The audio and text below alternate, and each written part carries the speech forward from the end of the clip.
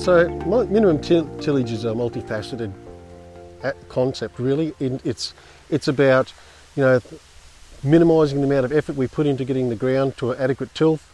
It's about, it's one of the cornerstones of maintaining soil health by not uh, you know, using aggressive tillage. Um, by minimum tilling, we're not, we're not burning off organic carbon that drives soil health.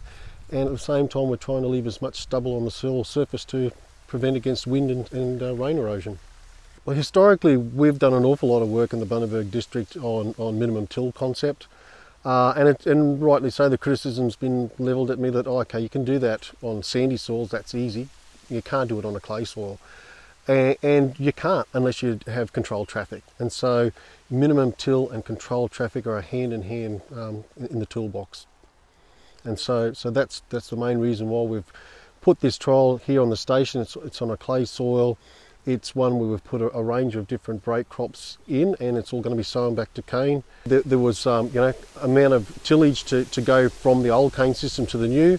As soon as we got onto our, our six foot precision controlled traffic footprint, um, we only had a, a, double disc opener planter come into the, uh, the paddock to plant the, sow the crops.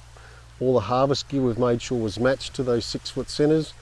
Um, and yes, we're going from our break crops of soybeans and peanuts with, um, you know, one pass of a, of a single tine ripper.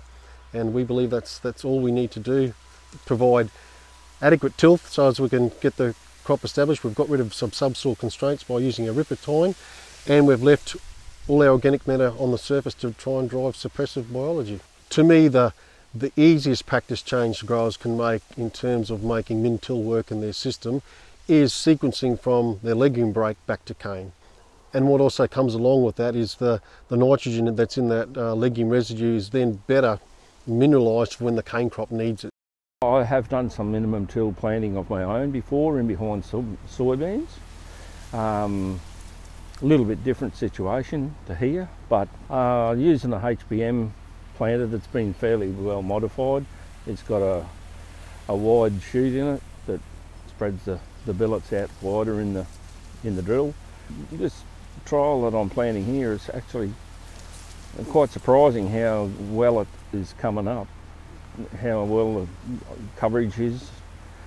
Every here and there you get a, a bony row that, that, that's a bit lumpy and but that's just history of something that's been where it shouldn't have been. Traction's not a problem. Uh, fuel usage would be up a, a bit, I would imagine. I can hear the tractor working more than what it normally does.